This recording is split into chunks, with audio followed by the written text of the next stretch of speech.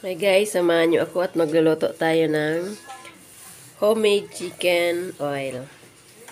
So, simple lang ang paggawa nito at napakadali. So, maglalagay tayo ng konting mantika para sa ating igigisa ang ating bawang.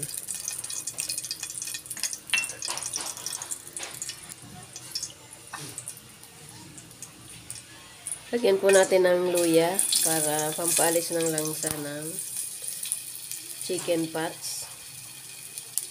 At ito ang aking maraming bawang.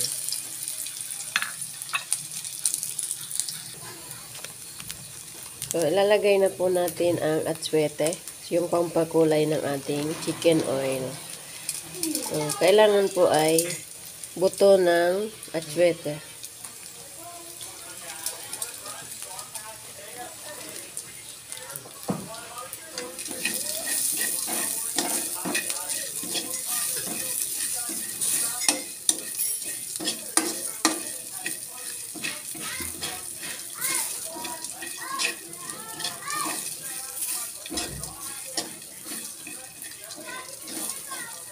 So, ilalagay na po natin ang ating chicken parts.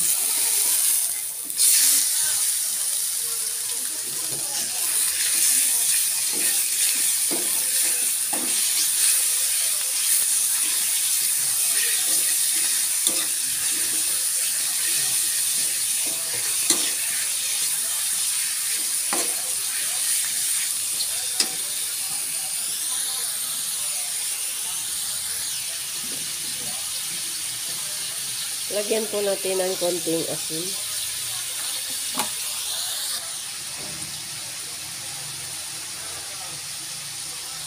Lalagay din tayo ng pampalasa, konting magic sarap.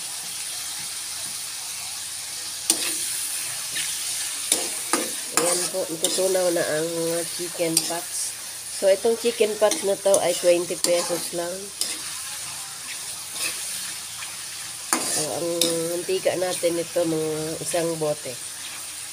So, hayaan lang natin ito matunaw ang kanyang mga pots. Ayan po. Napakarami na nating chicken oil. Hintayin nating matunaw pa itong ibang ano.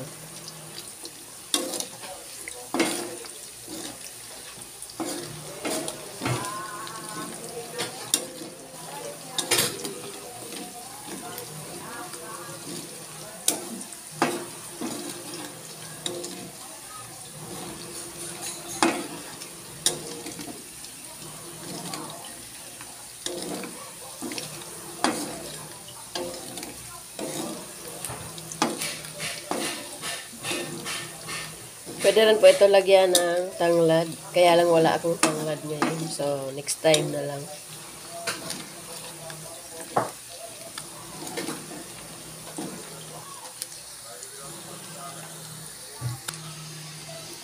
Ito na po, luto na ang ating homemade chicken oil. So, tutong na ang ating bawang. Tutong na rin ang ating ginger. At pati na rin yung ibang pots na may natitira pa rin konting ano, laman. So, mamaya pag lumamig, salain na natin ang ating chicken oil. Chicken oil. So, malamig na po siya, kaya ililipat ko na dito sa salain lang. Kakain din na, may cracker. Cracker na. Ano? Kaya lang, ano? So, ito po hindi ko itatapon. Ilalagay ko din siya sa para gusto ko magawa ng inasal. So, ito na siya.